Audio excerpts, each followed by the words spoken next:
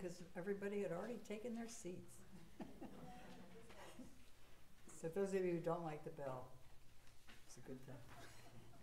All right, it is our um, tradition to welcome all each Sunday, and especially we want to welcome our visitors. Uh, If any of you would- are, were here and feel comfortable, please stand and introduce yourselves. I think we have seen your group. You're from Hagerstown, right? Right. So we're, we're getting to know you real well. It's good to see you. Um, our in-service, uh, our in-person service is at nine thirty every Sunday morning. Uh, and you can view our, uh, li- service as live, as, as we are live streaming now, or it will be posted later and you can view it at your convenience.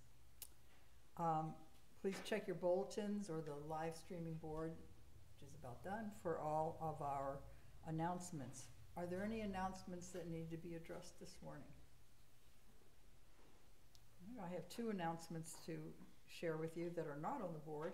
One is that up here in front of the communion table, we have a bin full of um, hygiene kits. And we are up to twenty hygiene kits, we've been working on them for a while. And these were go- going to go to a, um, a center up in Georgetown, Delaware, and it's called Shepherd's Office. That correct? Okay.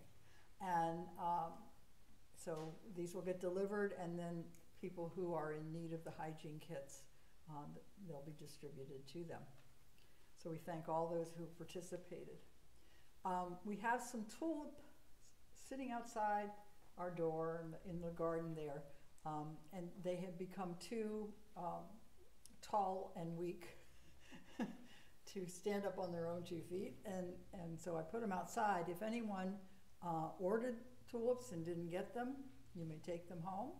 Or if you didn't order and you want to try and plant the tulip bulbs in your yard, please feel free to take a pot of tulips home. All right, so, yeah, or share them with the squirrels. All right, um, we have one joy to share today, and it is that today, um, is Jesse and Sherry Lynch's wedding anniversary. So happy birthday, or happy anniversary, Jess and Sherry. And Pastor Rich, you have a, a joy to share? Good morning. Uh, yesterday at Mariners Bethel, inside the Hope Center, they had a yard sale. And I think we had four family units or four people that brought stuff in. Uh, we raised hundred dollars for the emergency fund. Uh, we have some leftover stuff we're gonna take to Axe, uh, that we're gonna go away, but we had a good time. We were inside. Yesterday, the weather, the temperature wasn't bad, but with the wind blowing, thank goodness we're inside. Our stuff would have been all over the place. So I thank Robin and Kevin for being there and for the whole day with me, working out and selling things. And Caroline, I want to let you know, the two scooters you gave us last year, the two little girls that bought them for a very discounted rate still say they ride them every day. So I wanted to make sure you, they were smiles on their face.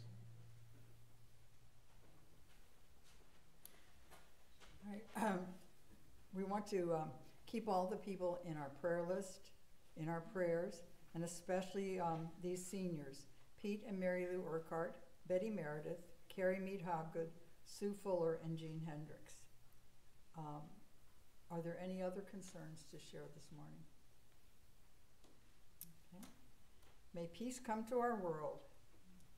Um, there are cards available in the chair backs for, um, any um, concerns that you would like to place on the prayer list, or there are also cards if you are wishing membership information. Um, Now we will listen to our prelude Amy. Morning, everybody.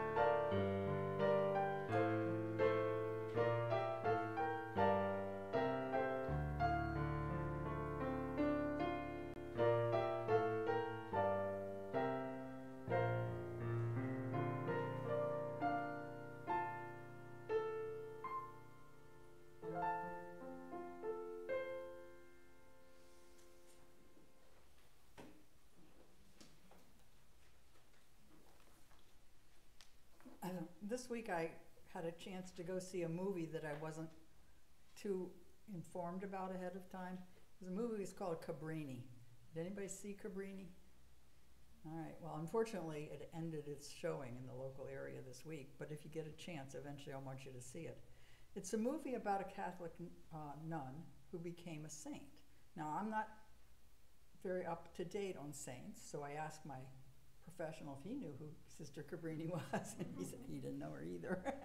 so anyhow, so Sister Cabrini um, was an Italian nun, um, very frail, very small, but she was a very a woman of great faith and had an idea that she should go to China to bring people to Christ. And when she uh, went to the Pope, imagine being brave enough to go to the Pope. This was in the late 1800s, by the way. Uh, she went to the Pope and he said wouldn't let her go. Her bishop had already said no, um, but she was very determined. Um, finally, he agreed that she could go someplace, but it had to be America to come to he- America and care for the Italians who were living in poverty and facing great deal of discrimination in the late 1800s. So she and six other nuns arrive in New York City. They're supposed to be picked up by the New York City bishop's office, and nobody picks them up. So they work their way to the area where the Italians were living, and it was called Five Points. Horrible. The, the, the, the sight of the community was just horrible, and the, the plight of the people, just terrible. Uh, she finally found a priest, and he dismissed her. Go do whatever you want. Here's the orphanage. You go take care of it. It was this rundown, rat-infested building. They eventually made it into something and began collecting children. Many of the children were, you know, they were living in the streets and they were living in the sewers. Um, they faced lots of roadblocks and lots of hardships, but eventually prevailed. And uh, through her work, um, they sa- saved countless people, not, and not just Italians. Um, so I was inspired after seeing the movie uh, and came home and did a little research on her. She actually founded the Missionary Sisters of the Sacred Heart of Jesus, which now has over 70 locations around the world. Um, everything from orphanages to hospitals to schools for the poor and the abandoned and the marginalized. Um, much, many of her messages they portrayed in the movie would speak to people today about how we care for others. Um, she was canonized, and she was actually the first canonized saint from the United States.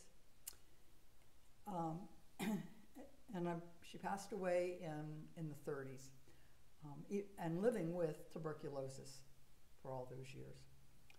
Um, so I want to share just two quotes because she was really, a, um, the movie doesn't get too much into how faithful and de- devoted she was to Jesus. Um, but it, it, it made me want to know more.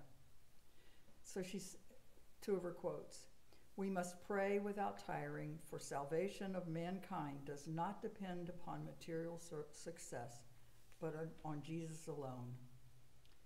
And she also said, My God, you created me for yourself, and I must serve you with all my being. And she certainly did that. So if you ever get a chance to see the movie Cabrini, uh, I highly encourage it. It's a really, really heartfelt movie.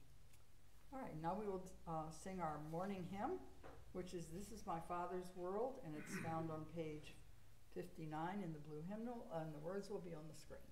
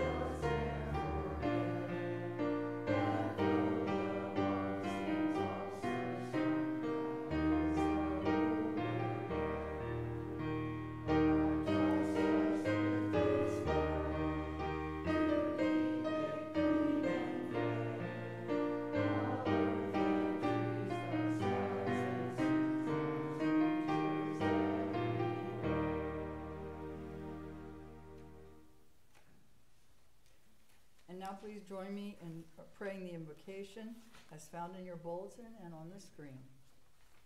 Living God, whose love is freely given to good and bad alike, help us show the world that it is not ourselves we trust but you. May our failures not turn others against you, but enable them to see more clearly how completely full you are.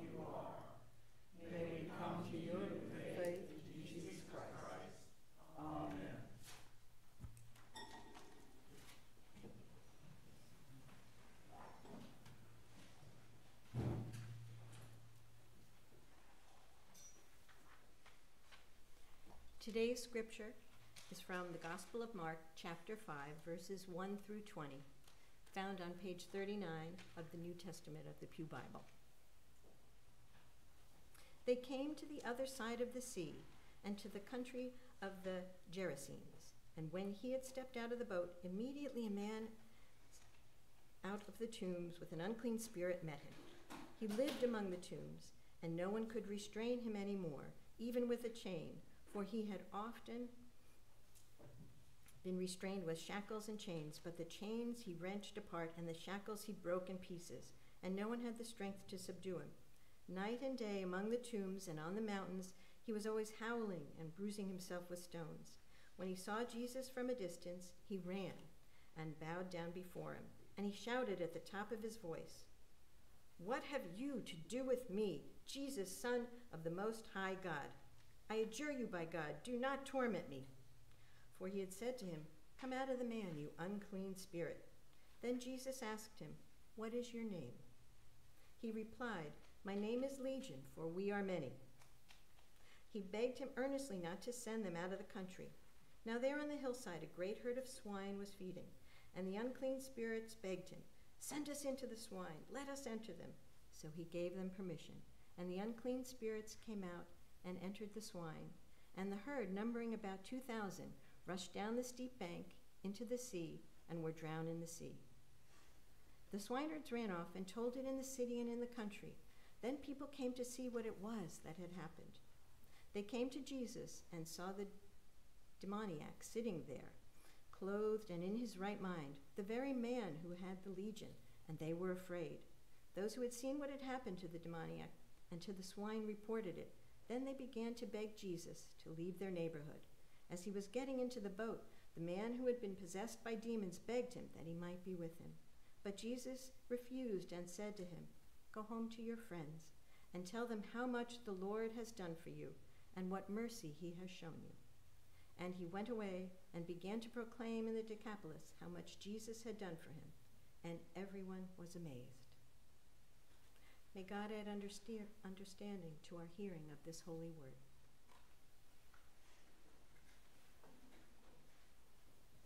And now we will present our gifts and offerings. Please stand to sing the doxology.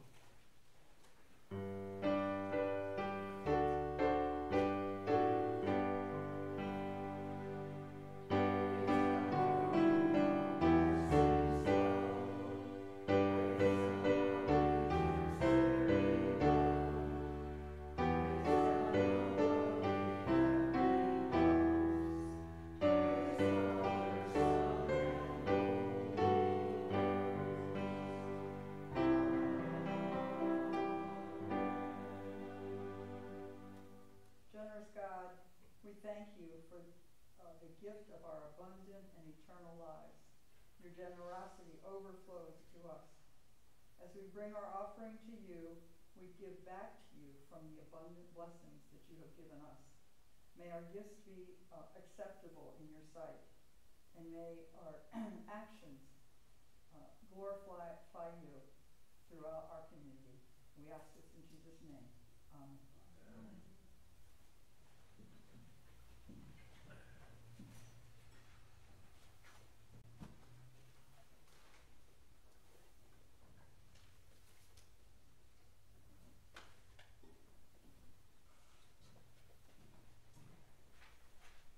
Morning again.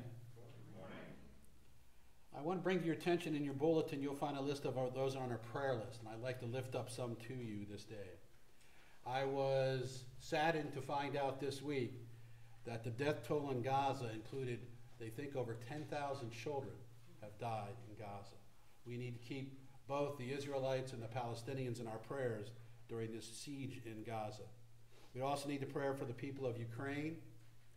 Carolyn Billingsley is definitely in our prayers. Jess and Sherry Lynch are celebrating, I think, their 12th wedding anniversary. They're still traveling about. Jess will start his chemo treatments, I think, next week. So we need to keep Jess and Sherry Lynch in our prayers.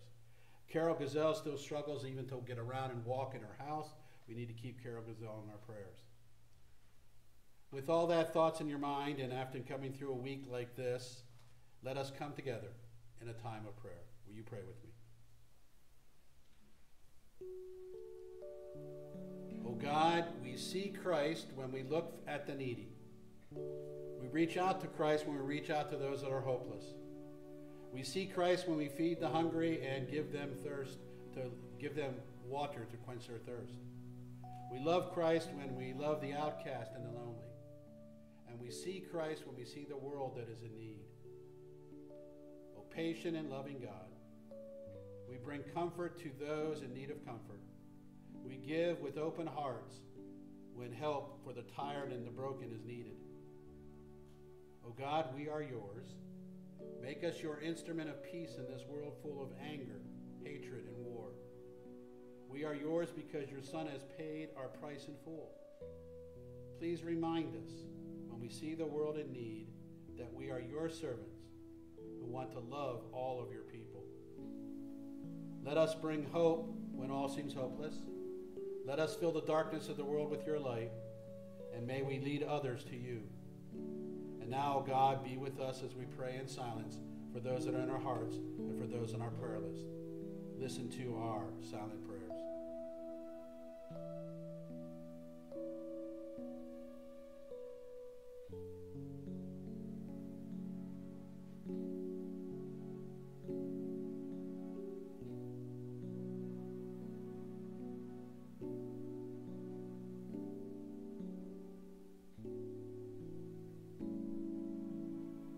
You, O God, for every blessing that you've sent our way. And now let us pray together the prayer that Christ taught us using the word trespasses. Our Father,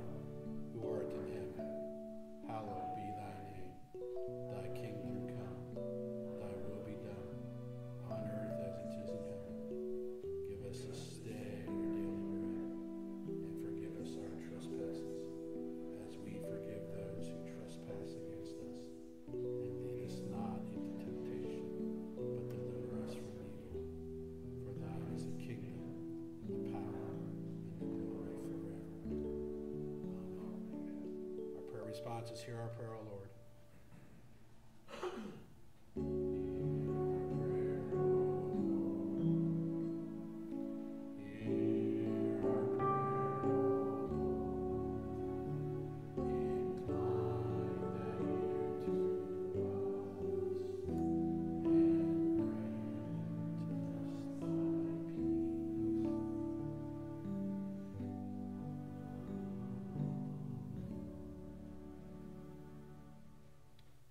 The scripture story we're looking at from the Gospel of Mark is one I can relate myself to almost every character in here but Jesus. I was kind of struck by that. I can be with the insane man because I've had life, moments in my life where I've lived an insane life. I can be with the people around who, who struggle with their fear, having seen this insane man healed. And I can be with even the disciples who are completely silent during this whole story. 20 verses, and we hear absolutely nothing about what the disciples do. But I have trouble, being in my own personal tombs, how to break out, how to seek out Jesus.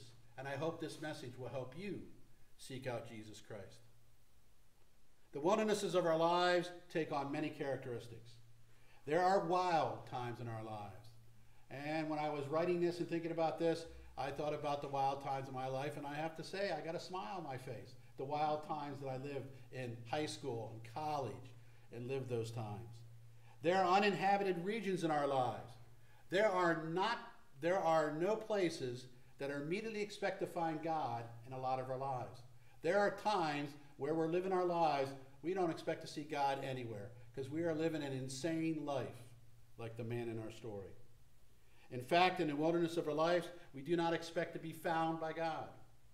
We all have those times when we seem to live in the wilderness of this world. In our scripture story today, we have such a time, such a place.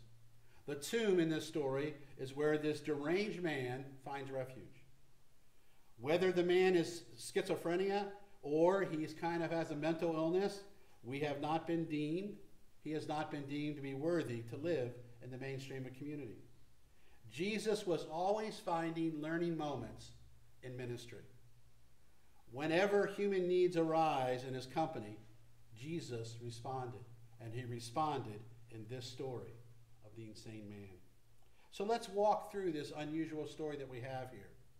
The insane man comes out of the tombs where he's lived to meet Jesus.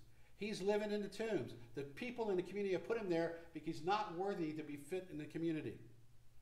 He is so insane that no one can even bind him anymore, and even to put him in chains. They have tried to chain him up, but every time the insane man would tear the chains apart, would break the iron from his feet, there was no one strong enough to subdue him. And I thought when I was practicing this, thought if I looked around, who would I picture in this church at this time to be strong enough to be the insane man that we could not subdue them? And I'm looking around and I'm wondering, maybe I'll pick Mark in the back who's running our sound thing. That maybe Mark would be the insane man who's not, we're not strong enough to hold back. There was no one strong enough to subdue him. The insane man would cry out from the tombs and would cut himself with stones. And if you remember the old commercials, I remember coming out of New York City. He was insane. Wasn't there a furniture shopper that said, I have insane deals for you? He was insane. The insane man saw Jesus some distance away, and he ran to Jesus, and he fell at his feet. And he says to Jesus, What do you want with me? Please do not torture me. And Jesus says back, Evil spirit, come out of this man. The evil spirit within the man tell Jesus this. They say, Our name is Legion, because there are many of us in this man. Please do not cast us out. Nearby there is a large herd of pigs on a hillside, feeding on that hillside. The demons beg Jesus, Send us among the pigs. Allow us to go then to them. Jesus gives the demons permission to do this. An evil spirit comes out of the man and goes into the pigs. The pigs then run down the hillside into the lake and they drown. Interesting story. Man comes out and comes to Jesus, and he tells Jesus, Don't torture me, leave me alone. And then the legion of evil spirits within inside him said, Send us to those pigs on that hill over there so we can enter into them. Jesus gives them permission. They enter into the pigs, and then the pigs run down the hillside into the lake and drown. After this, many people run off and they tell others what they saw. Many people decide to return to find Jesus and see him. Upon returning, they find this insane man sitting dressed up and in his right mind sitting next to Jesus. They become, which I think all of us would become, afraid. They become afraid of this insane man who is now sane and sitting next to Jesus. Jesus then gets up and heads down to the boat because the people in the village are scared of him. They're frightened and they ask him, We beg you, Jesus, leave us, leave us here because of what he's done to this insane man. As he's getting ready to board the boat, the insane man comes and tells him, I want to go with you, Jesus. I want to go with you. I've been cured. I want to go with you. I don't want to stay here. I want to get in the boat with you and travel with you. And Jesus tells him that he cannot go. Tells him to stay and visit with his family and share the blessings he received from God and share that he is now sane by the power of Jesus Christ. The man who was sane does this, and all the people were amazed. An interesting story that we have. I want you to notice in the story, as I said earlier, the disciples are silent. We do not hear a thing about what the disciples do. The disciples were not quick to catch on to what Jesus was trying to teach them. Many times the disciples were silent and befuddled by Jesus' teaching. In this story, the insane man living in the tomb You can hear the silence of the disciples. It is deafening. This screaming and wild maniac has frozen the disciples in his tracks. I can imagine when this man came, man came out of the tombs and run toward Jesus, I can imagine the disciples taking a step back.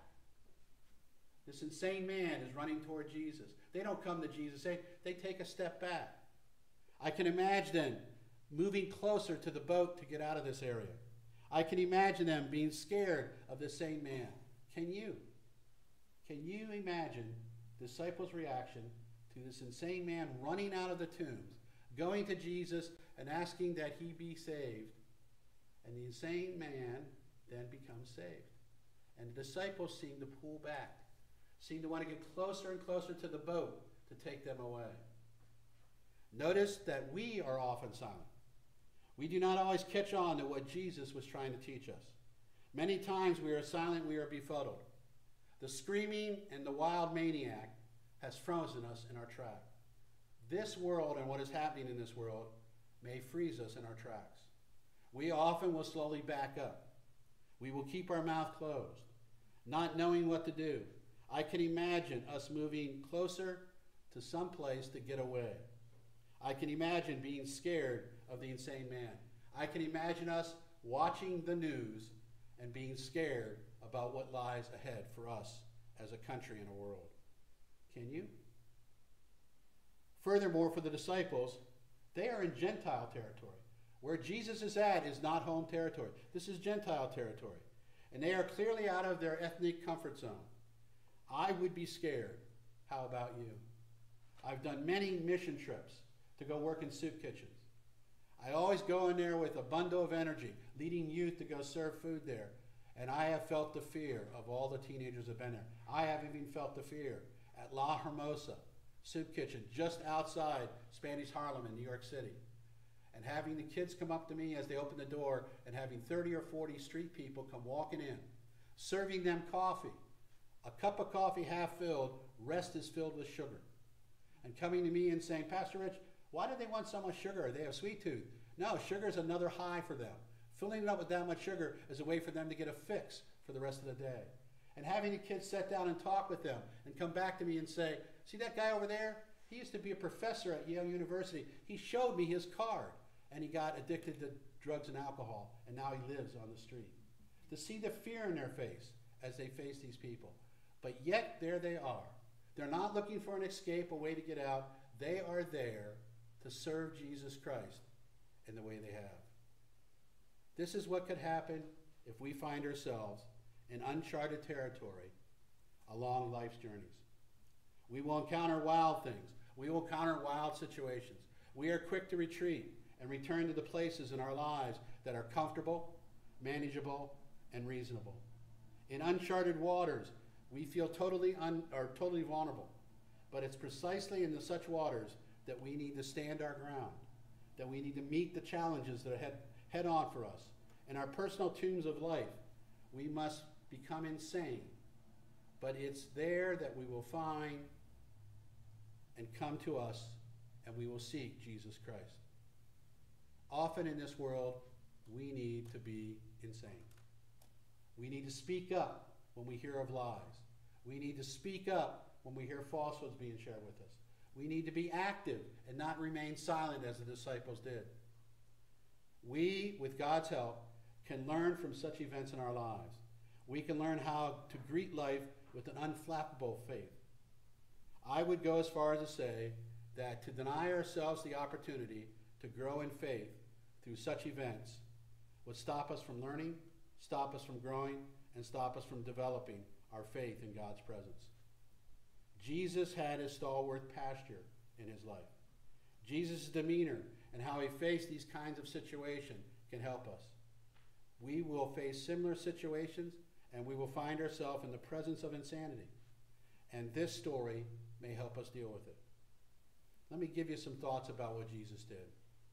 First, Jesus is unafraid of going to places he's never been before. We do not know if Jesus had ever been in this area before. Perhaps he knew about this man living in the tombs. Jesus' visit is timely. Jesus intended to find the man and to help him. We need to prepare ourselves to expect the unexpected. We need to be the one who nurtures, cultivates the unexpected, and exercises our faith. Faith needs such things. Faith needs to be nurtured. Faith needs to be cultivated. Faith needs to be exercised. And when we do this, we will find the strength to face the challenges which, res- which will resolve that God will work through us. Secondly, we may see the situations for exactly what it really is. Jesus engages the insane man who is startled that anyone, anyone would want to help him. I can see Jesus greeting the man, not with stern and condemnation, not emotionless, but with compassion and with love. How long do you think it's been since this insane man living in a tomb was greeted in this way? I would guess it's been a long, long time. Jesus meets the man before he addresses the man's need. Jesus looks the man in the face and listens to what he has to say. The tragic man runs to Jesus because he sensed Jesus' interest in him. Almost immediately, a trust develops between Jesus and the insane man. The man knows he can trust Jesus, and I hope you can too. When situations entomb us, when life situations entomb us, we need to seek out those we trust in in order to deal with what bothers us. And finally, we can learn to loosen the grip on the situation of our lives. The chains fall from the man when he realizes he can survive his ordeal. The first thing that falls from the insane man is his emotion and psychological change he's been carrying. Fear is one such link in the chain of events that develops into a tough, insurmountable situations. The insane man no longer fears a situation because someone took the time, someone took the effort to help. And from now on, I believe the man who was insane becomes one who will find a friend or a stranger and help them also. The man who is insane will be able to pay it forward as a result of being empowered by God's love. To loosen the grip on a situation in life, he will move forward in service of Jesus Christ. He will return to the mainstream of life and he will help others. So, my friends, what are your personal tunes? Do you want to break out of your personal tunes? Do you want to seek out Jesus? Do you want to seek out Jesus? And what are our personal tombs? Do we want to break out of our personal tombs? Do we want to seek out Jesus? Do we want to seek out Jesus? I found studying this story and writing about this story was difficult to digest. As I said earlier, I can put myself in every place of everybody there, mostly in the place of the disciples. Seeing trouble coming my way, my normal reaction is to back away, to remain silent on everything we have. In this coming year, with everything we're facing, I encourage you to not remain silent, to speak out against injustice, to speak out against racism, to speak out against those who seem to be doing harm rather than helping. We need to lift up each other. We need to be like the insane man. Find Jesus, and after Jesus helps us, to give the words of love and compassion to all of God's people. Let us pray. O oh God, give us the strength to come out of our personal tombs and to find you, and to offer up all of our wildernesses of our lives to your blessing. May we not remain silent. May we speak out about anything in our lives that we think that we need to stand strong for. We need to seek out others and show love and compassion for all of God's people. And we pray this in Christ's name. Amen. April 12th, just a few days ago, in Israel, at 10 o'clock, sirens went off. It was not because of the drone strike they were having, it was Holocaust Remembrance Day, April 12th, 2024. At 10 o'clock, sirens would go off. The whole country of Israel would stop everything they're doing and would stand still. They stopped their cars on the highway. They stopped the walking on the street. They remained motionless for two minutes to remember the six million victims of the Holocaust. Two minutes of silence and stillness to remember. I know later, I think it was yesterday, With the drone strike from Iran, sirens went off again in Israel. But on April 12th at 10 o'clock, for two minutes, sirens went off and people remained motionless and silent during that time. We have done this before here. So I'm going to ask us to do it again. I'm going to ask you to take everything that's in your hands and put it away and fold your hands like this in your lap. Put your feet on the floor, and if your feet can't reach the floor, let your feet just dangle there in front of you. And I'm going to get, oh, I'm going to ask Sherry to take out her phone. I left my phone back in my coat and put it on silence here. That she's going to time us for two minutes. We're going to sit still for two minutes. Remembering the Holocaust, but remembering the sacrifice that Jesus made for us. Two minutes of silence at that time. Tell me when you're ready, dear. Let us begin.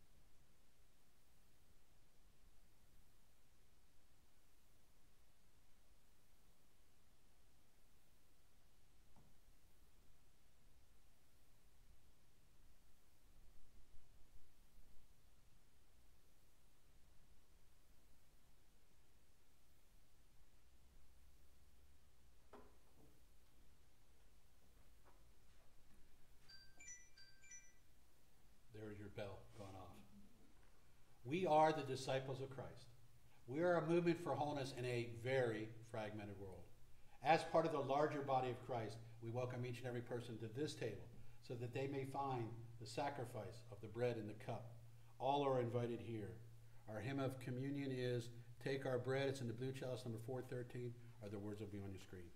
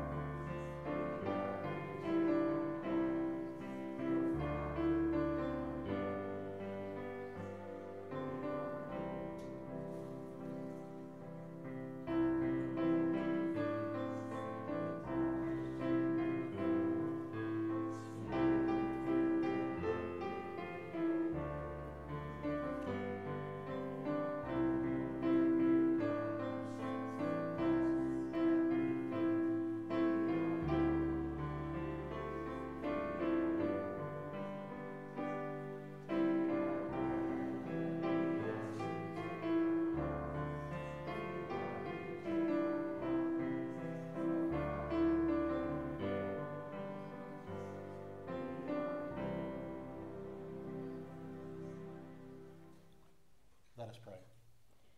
Most gracious God, as we take this bread, we remember that you are the bread of life. As we take this cup, we remember that you are the giver of life.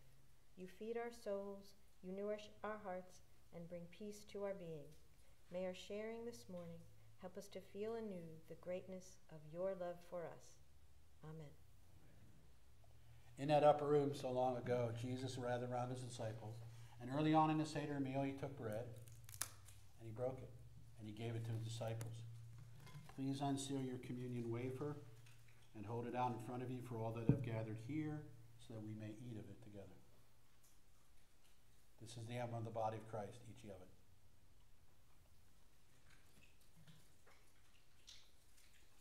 Later in that meal, we believe the drinking of the third cup of the wine, he blessed and gave it to the disciples. He knew this would be the final time that he would drink of the fruit of the vine. He also knew that everyone who gathered one, everyone who gathered around that table would betray him in some way. Please unseal your communion juice. And for those here in the chapel, please hold it out in front of you so we're ready to drink it together. This is the emblem of the blood of Christ. Drink ye of it.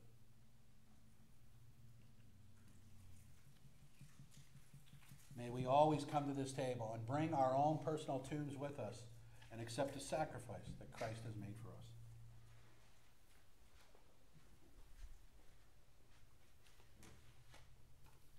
Our hymn of invitation is My Hope is Built. If there's anybody here who'd like to come forward for private prayer time, I'd be happy to visit with you. Or to come forward and talk about membership or associate membership in this church, this would be the time. Again, My Hope is Built, Blue Chalice number 537.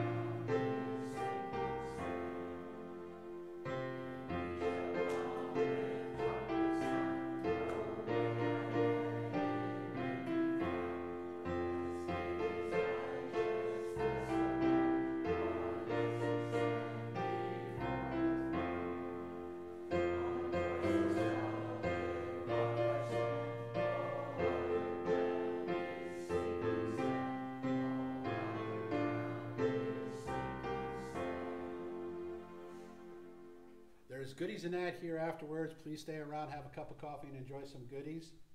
Uh, next Sunday, we have a church board meeting after our worship service. We'd ask all board members to hang around. And the Sunday after, we're having a congregational meeting. We're going to look back at 2023 and celebrate a very good year. Uh, pizza will be served from Surfs Up. Uh, we have water also. We're asking you to bring something to go with pizza, whatever you want to bring to go with pizza. And if anybody would like to, at 2 o'clock today, I'm heading down to see the Windless Shorebirds play down in Salisbury.